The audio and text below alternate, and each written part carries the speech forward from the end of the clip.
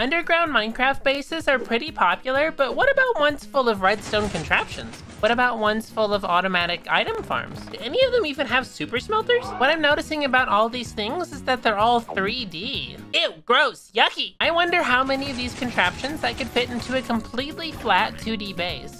Well, there's only one way to find out. First thing your secret base is gonna need is a secret entrance. I'm thinking somehow we have like a piston door that like opens something like this. Oops, like that. And then you kind of fall down the shaft, which I think will be pretty cool. But because we're gonna be using pistons, we can't be using ladders to get out of here. So what if instead we had a sticky piston? With a slime block on it. And then whenever you power this guy like this, whee! I jump so high. I think I like this one, so let's make a plan. What I want to happen is that these two pistons fire and push these blocks out here.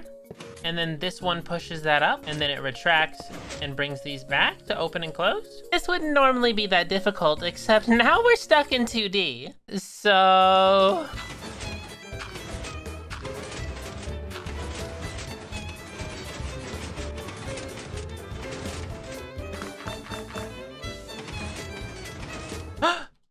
First try. So now that we have the entrance working, we need to figure out how to hide the button.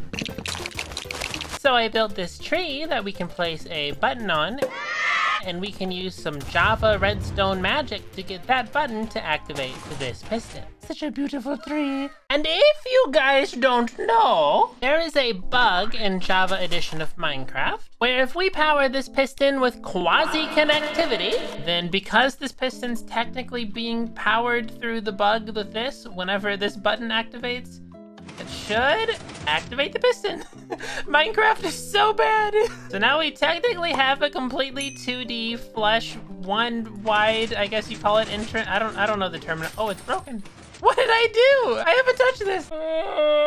So to finish off our entrance, all we need is the slime jump. It also wouldn't be a Mysticat video without command blocks, so I made this that spawns an armor stand and this that constantly teleports it out there. So now anytime throughout the video, I can use replay mod on that and get a 2D camera angle. So now let's give this a full test. If we hit this button, it should drop out the floor from underneath us and we're in our base. Let's make it a little wider. And then we can use this to close it up there. And then whenever we wanna leave, we'll stand over here, hit the button, and launch out here and we can close our door and be on our way. But now that we have our fully functioning entrance to our secret base, we need a way to get even deeper. And I think ladders and staircases are boring, so why don't we use a fully working elevator? And we're gonna need this sort of shape right here. So we can make these our slime block. Why are they blue in my hand? Why are they blue?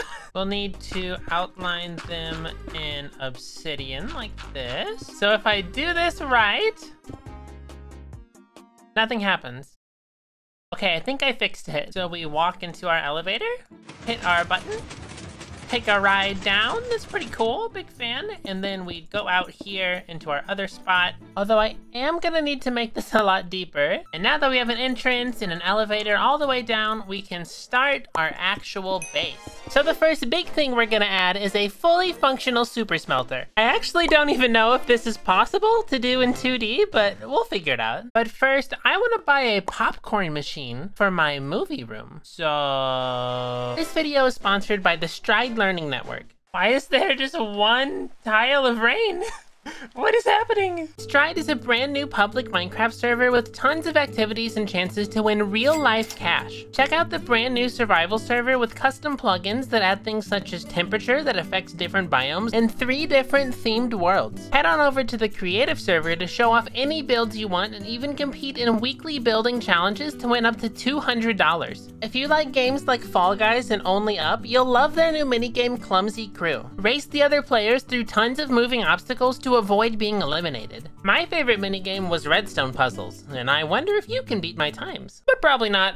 I'm pretty amazing. I'm pretty cool. I'm probably way faster than any of you guys. I'm like perfect. Stride is about to start hosting more weekly events too that offer additional cash prizes just for playing on the server. Join mc.stride.gg on either Java or Bedrock Edition to get started today. Super smelters are typically ways to smelt a ton of stuff at once using like either like mine carts or like a bunch of hoppers or something. And you can hide them in the ground like this. And I think that's what I want to do. Okay, I made a fake wall here next to the other one that we can practice on, which brings us to our first issue. To automatically put items into a furnace, we need to have a hopper pointing into the top, and to automatically take them out, we need to have a hopper pointing out of the bottom. But in order to refill the fuel in the furnace, we need to have a hopper pointing into the side of the furnace. And you see, if we're gonna make a super smelter in 2D, there's not a way to do this. And so my solution is to don't do don't do that.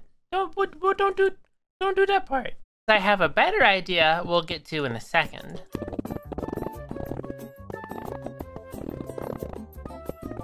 So now if we get a minecart and put it down here, see it'll take some out and start sorting it into the furnaces as it goes along. And then we'll have another one on the bottom that whenever it smelts, it'll take it out of here and then we need to dump it into a chest. But oh my gosh, I need to stop all this noise, it's driving me insane. Okay, there we go. Now the minecarts only move whenever they need to. And so now that we have all of our minecarts moving the way they're supposed to, we need to figure out how to get the items out of them. There we go, like this. And now whenever the minecart stopped, everything that's inside of it will dump into this chest. But what if I don't want it to be like this? What if instead I'd rather have the chests be like up here in like the same room? Like if we had one little room right here, you come down like a ladder, you put all your stuff in this chest, it smelts, and then it comes out of this chest. I think I think that sounds swell, except that also means I have to make it.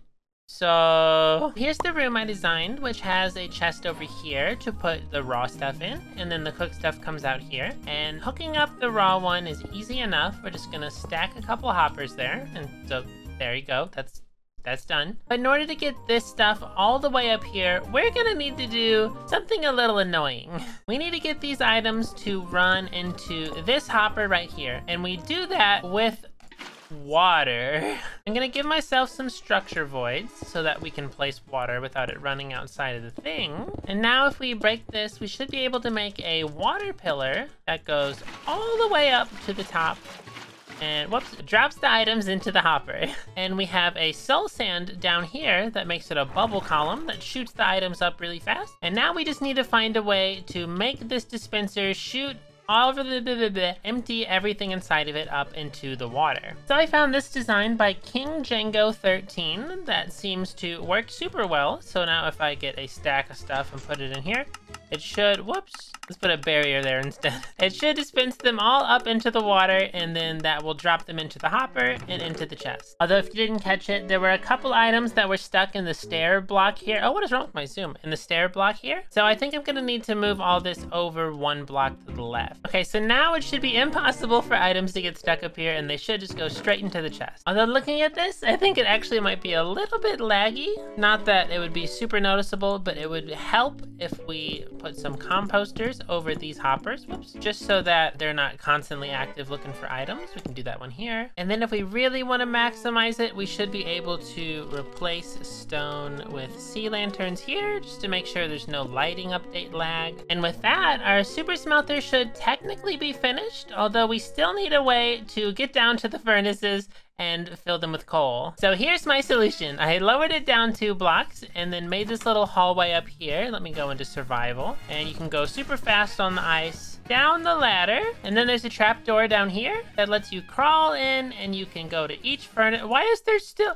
Why, what, what is happening? So here's our finished design, and I just need to build it again. Oh boy. And time, there it is. Which brings us to the next section, which is filling our base with as many different farms as possible. But looking at this, I feel like we should be able to expand this ladder all the way up to here. That could be fun. I'm thinking the easiest farms we could do would be maybe like a bamboo and a sugar cane and just do like the common redstone one. So let's let's like maybe make a little cutout, put some sand here, whoops. And it should look something like this. And then we have an observer and like a piston and then like a piece of redstone. That's probably right. So if we, yeah, okay. So what if we stack a bunch of these all the way down and then have them push off into like a little collection thing down here. So now here we have our more extended farm section right here, although we could use a bit more glass all the way up and down here. So all we need to do is put a double chest and a hopper on top like that. And whenever they grow, they'll be pushed off into the thing. There'll be barriers here so they won't fly off the map, but they will land here and go in the chest. And then up here we can have different rooms. So maybe like this could be the bedroom. So let's get a bed there. Classic. You know what? We can probably add a nice little painting. Where's the funny guy? Give me the funny guy. Give me the funny, the funny guy. And then this could be whatever room you want this to be. Maybe you have your workbench, cartography table, smithing table. And then look at this. We can get a little sheep farm and an aquarium. I, that guy's kind of teleporting out of the block. We're making good progress. I also decided to flip the farm over this way just so we have twice as much farm going on while we're taking use of using the same space right here. what if we change this hallway into a lava farm? So we actually have infinite fuel growing in our base for our super smelter. And there we go. Now we have an infinite lava farm that may not be super fast, but every time you get a lava bucket, you get a hundred things to smelt in here. How does this keep happening? Where did, where is this coming from? I also moved everything down one block so that now we can fit a second row of a lava farm here. And honestly, it's kind of a pretty good use of space. I'm kind of proud of this. I want to add a full skeleton farm somehow right here at the end of the base for infinite XP. This is the design we'll be going with, where they kind of just spawn in this ice water here, slide over into the elevator. I did not press W. It launches me up, down, and then I drop. Hopefully landed half a heart. I haven't counted and made sure yet, but that should be long enough. And then you killed them all right there.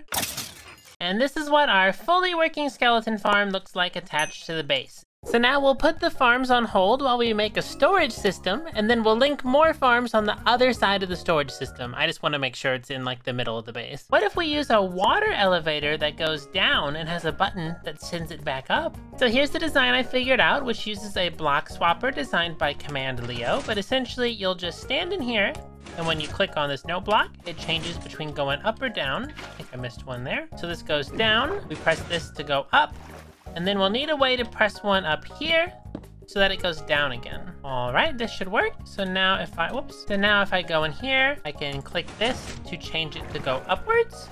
See, we can't go down, but if we click this one, it will change and pull us back down. Ain't that cool? Look at that! So now I've installed the water elevator, which works perfectly fine, and I've also filled in the blank space with a nether wart farm, a potion brewing station, and an enchanting room. But that brings us to this room, and for this room I want to have a storage system on the bottom and a villager trading hall at the top up here. And I think the easiest way to do that is probably to set some iron bars up here for the villagers to stand on, to put one one on each spot right here. And then let's get some job blocks. Maybe we have a bunch of lecterns. Maybe we have some Fletchers. And now I hope that these guys can actually see those job blocks. They might not be able to, but I can hope. Okay, so one, they don't see them, and two, they escaped. So, all right, so I'm gonna try a different layout here that kind of forces them into their own thing. Oh yeah, that's definitely working. Look at that. Look at those guys. And because of the iron bars, whoops, we should be able to reach them from under here. Look at that. So for the storage system, I remembered something from a Mumbo Jumbo video a long time ago where he did something like this and to get up and down he used these little slime jumpers. And I mean, I did think about just making the chest waterlogged so you could swim up and down them, but I think this is a lot more fun. So credit to Mumbo, funny Mumbo, Mumbo Jumby. And so here's one of them installed. I think it's actually gonna be perfect because you can easily jump over them and then whenever you wanna go down, you just hold shift and you can go any of these chests. And when you want to get back up, you just walk over this way. It's as easy as that. And now this should be fully finished for the storage system at least, and it should be able to expand in this direction infinitely whenever you need more villagers or more storage or whatever. And you can pretty easily just hop over, look around, Maybe I want, hmm, let's see, I want this chest. No, actually, hmm, actually I want um this chest. No, actually, wait, I want no, that was the right one. Wait, come back. Which means this is now our full view of the outside of the base, but you may notice there's a big gap right here. And I have just the idea for what to put there. If you take a look around the base, you may notice that there's two major things standing out that we don't have. One is food. We don't we don't have any food anywhere. And two, we have Fletchers, but no wood to trade to them. So I say we add a ladder right here in between the storage and the bones for a tree. And down here we'll have a tree farm that leads to a honey farm. Now I don't know if this is actually enough room to grow trees, but I mean, Maybe, maybe it is. So then to test our farm, we'll grab a bunch of bone meal from our bone meal farm. We'll head down the ladder to our tree room. We'll go right here, try to plant a sapling.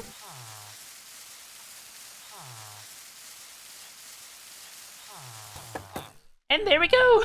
Infinite trees! And then we'll continue down the hallway and we'll make a bee farm over here. This is what the classic ilmango honey bottle farm looks like these. And so what I think we can do is literally just take one slice out of this and then mirror them on both sides. And so here's what I built, which is exactly the same thing, just sideways and colored differently. And so how it should work is the bees come out of the hive, they use the flower. When they go back in, if you look on the right here, um, over here, it says honey level two. Whenever this gets to, I believe, five, then this comparator will power this dispenser, bottle the honey, and then hopefully it'll land down here, get picked up by the hopper, and put into this chest. Uh, the only reason I wouldn't do that is because we need more barriers, but eh, we'll, we'll figure it out. And so there's one food farm done, but that means up here, we need a wheat farm and a cow farm. So I think what I want to do is make the entity cramming cow farm I usually make because it's super easy and kind of fun. And so I'm thinking we probably put the cows here and then the wheat farm over here. And then if we ever want to expand in the future, we can keep adding layers of the wheat farm all the way up there. And so here we have three cow entity cramming chambers. And so how this works is you spawn a bunch of cows in each of these and then not there. And then once you have enough cows, the baby ones will live because of their size, and the adult ones will die instantly. So you literally just get a bunch of wheat, and then hold right click on these, it'll breed new cows, and the old ones will die. And you just have infinite cows in little holes. And then all their loot will fall into these hoppers and move over into this chest. And then over on this side, I would like to place four and four dirt with a water source in the middle. And then we should have a hoe to plant some farmland. And just like that, we now have a full crop tower over here. So now let's take a full 2D tour of our entire ultimate underground 2D Minecraft base. Whatever, whatever other words I could fit in there. So our base begins on the surface. By walking over to this very innocent, unsuspecting tree, there's totally nothing suspicious below me. I'm going to hit this button. I wonder what that does. Oh, I've fallen into a secret tunnel. Oh boy. We're gonna walk over here to our new elevator have a little ride down. And, oh, look at this. It's our aquarium where all the fish drowned. It's our sheep farm of all the different cool colors. It's a bunch of tables. It's a red bed. Same color as the subscribe button. That's kind of crazy. Oh, would you look at that? We're in our base. Let's go down to, let's see, we have a nether wart farm a brewing stand room, an enchanting room, some coal over there. Let's try and smelt some stuff. I'm gonna put 64 beef in this chest. We'll come back later and see how well that smelted. But for now, let's go back up. Over here, we can check on the contents of, oh wow, there's actually a lot of bamboo and sugarcane in here. I've been here a long time. But if we go over here, we can see we have a fully functioning skeleton spawner, it, although it, it, did make it daytime. I should probably make it nighttime, but uh, it would work if you know, the lighting was right. Down here will take us to our tree farm. We're gonna need a lot of saplings, or a lot of uh, bone meal to get these to grow, but you know, it'll be fine. And then we go this way to all our different food farms. We got, we can hear cows up there. We got our bees over there. We got all of our different crop farms that are growing. And then let's go check out our next area, which is, oh, our water elevator's the wrong way. Now, what are we gonna do about that? Bam! Oh, I missed it. Bam! And now we're gonna go down the water. Whee! Whee! And then we make it, and then, oh, would you look at this? We got a villager trading hall. I can reach them between the bars. I got the, the mumbo chests, because those are cool. Those are pretty fun. Look at how much fun I'm having. Oh, I'm amazing. But we still need to see how our super smelter's been doing. And would you look at that? Some fresh steak. Don't forget to subscribe to see new videos. And speaking of that, I've actually been editing three videos at the same time, so be sure to follow me on Twitter for updates on all that stuff. Let me know if you enjoyed the video, please!